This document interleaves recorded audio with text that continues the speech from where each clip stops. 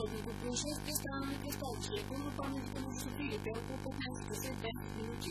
От удар се стига след като предаден Стоян Браво от 75 годишния мъж не спазва предимство. Следствено, който движещи се посока да се под заден двор се забива в фията от Кожидорската врата.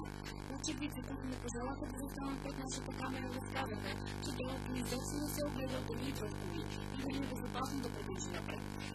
Разказаха още, че 75 годишният мъж, който минава от там и прави впечатление, че вече няма необходимите шофьорски рефлекси, най-вероятно заради възрастта си.